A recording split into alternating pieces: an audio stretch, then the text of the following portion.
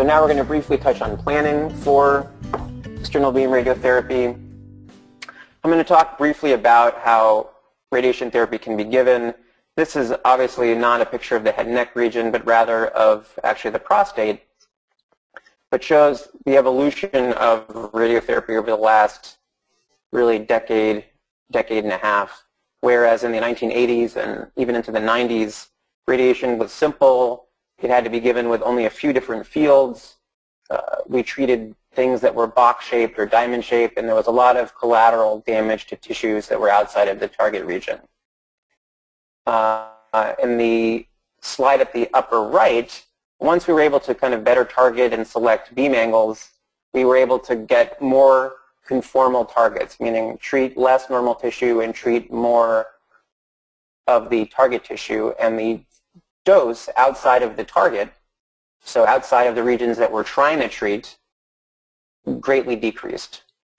And then, you know, in the late 90s and 2000s, the development of intensity modulated radiotherapy or the ability for us to, through each beam angle, kind of modify beamlets within each port that we treat allowed us to even develop more conformal treatments.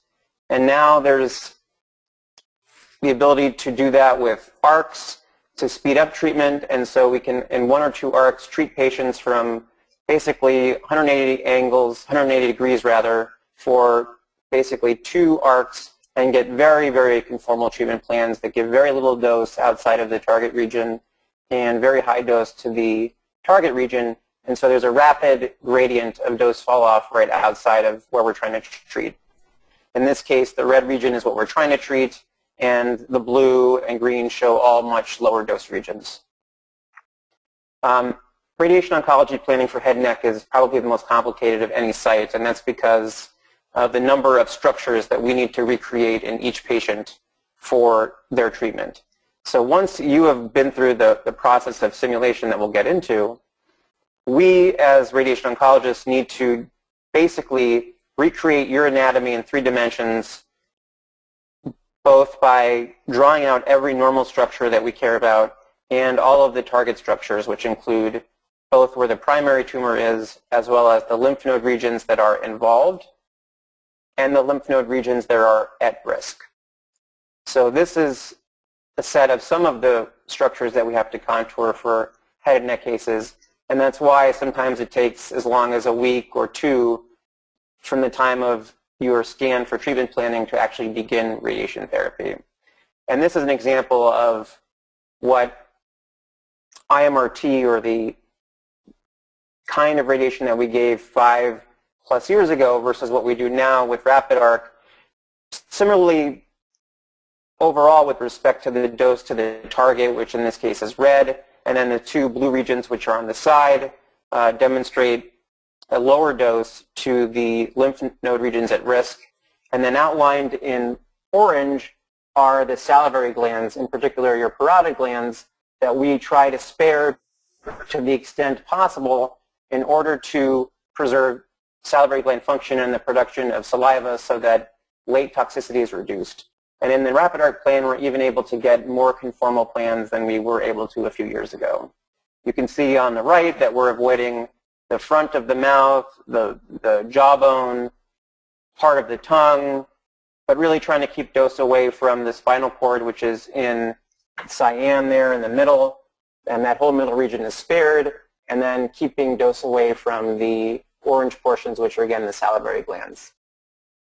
Just a few examples of how conformal and how tight we can make these plans. This is a patient that had not an oropharynx cancer, but a nasal cavity squamous cell carcinoma, and we were able to treat that region and give very little dose to everything around it. And if you look at the bottom right picture, you can see that there's essentially no dose to the brain, and it stops basically at some of the sinus structures, so the air-filled spaces that are right behind the target. Uh, in this patient, we treated postoperatively for a salivary gland tumor, actually a, of the parotid gland on the right side, and you can see how we're able to spare almost the entire mouth and throat access and just treat the region at risk and a little bit of the lymph nodes below that. This patient had a right tonsillar carcinoma. So this is actually an example of a patient with a oropharynx cancer that had a bunch of lymph nodes involved. And I don't have the ability to, to arrow, but if you look at the top left picture, you can see that the green areas are lower dose and the red areas are highest dose. And there are sort of three areas, really four areas there that are the target regions. And that patient had lymph nodes that were involved with cancer on both sides of their neck. And if you look at the picture on the bottom left, you can see uh, in the front to back projection where the lymph nodes are that are involved. And you can see how we can sort of paint dose to the structures at risk and keep dose low to the areas that we don't want to treat. So we basically treat the tumor and the lymph nodes that are involved as assessed by our scanning technology, so a CT scan or a PET CT scan. Treat those to the highest regions. Then we have lower dose regions that we treat that are at risk lymph node regions since there is so much lymph node drainage in the head and neck region. And then we attempt to draw out all the normal structures that we want to spare in this patient. Um, for example, you can see how the dose on the bottom right picture falls off before the spinal cord, avoids much of the uh, sinuses above the palate, and of course, you know, keeping dose to brain essentially uh, zero, which was not possible a decade or two ago. So most importantly, I think we should talk about the process of planning for external beam radiation therapy. So we've learned that the most reproducible and effective way to give external beam radiation is to go slow and steady. So we give a little bit of dose each day for a period of seven weeks, 35 treatments typically over seven weeks given Monday through Friday. Larger doses per day give longer and worse late-term side effects. So months years later, we found out that by breaking out radiation into little pieces per day, we can make the radiation more tolerable for patients, reduce the risk of late side effects, and we know it works well for killing cancer cells. So the planning process involves something called a simulation. And that scan typically consists of a CT, an MRI, or a PET CT scan, or some combination of the above. And in particular, we rely a lot on PET CT technology because that allows us not only to see the anatomy of relevance, but also to see areas that are what we call FDG avid, basically areas that are taking up this particular kind of sugar that we're administering for the scan, areas that are metabolically active. So we can see the areas that are metabolically active and tend to be associated with uh, cancer as opposed to areas that are not associated with cancer. So these areas are what we say colloquially as hot. Hot areas on a PET CT scan imply that it's probably an area that's involved with tumor.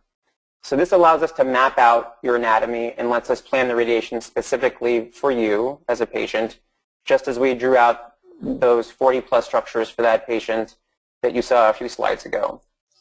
And patients typically have had scans in the past, meaning in the weeks or months preceding their radiation treatment planning, but we must recreate the scan in order to individualize your radiotherapy treatment. And so although it may seem like it's a little bit of a duplicate, we have to do it in order to create, recreate your anatomy.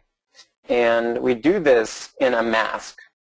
And the mask starts out as a flat piece of plastic that once is put in water becomes pliable and we can mold over to your face and head neck region and that once it's cooled looks like the bottom right picture where although you can see and breathe through this mask, it basically fixes your shoulders mouth, face, and head to a table board that basically does not allow for flexion extension of your head or any rotation. And this does a couple of things. It lets us more accurately scan you with less mo motion, but it allows us to, on a daily basis, put you into this mask, which we do use for treatment every day, in order to reproducibly set you up in the same position so that we can make sure that we can deliver radiation as accurately as possible. And the less motion associated with your day-to-day -day treatment, the smaller margins we can use on our treatment planning, meaning that we can treat less normal tissue. But that does require a high level of precision and requires that you move as little as possible during treatment. So this is a, a long slide that we'll just kind of briefly get into, but the, the planning process can take anywhere from 30 minutes to three hours depending on the number of scans that we need to do. And then because of the planning, it generally takes one to two weeks to start.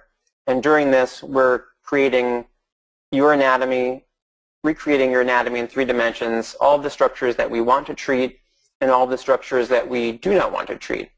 And we tell the computer basically once we've drawn this out, or once the physician has drawn this out, we tell the computer, please deliver radiation dose to these targets and minimize dose to these other structures. And then the plan is typically evaluated by a number of different oncologists, and we pick the best one, and it is evaluated by other physicians to make sure that that is the most appropriate plan. And there's a lot of man hours, person hours that goes into the creation of each of these plans, and that's why it does take a little bit of time from the start of planning to the actual initiation of radiation therapy. In this slide, we see just a few examples of areas such as the jawbone, the brainstem, which is in uh, purple, uh, the salivary glands here, which are in that light brown color, and then down below, if you look at the bottom, the spinal cord in cyan, and um, the esophagus or your swallowing tube in green, just as an example of some of the structures that we're drawing out in order to treat the targets here, which are actually the yellow regions, and avoid the colored regions that are structures that we're trying to protect.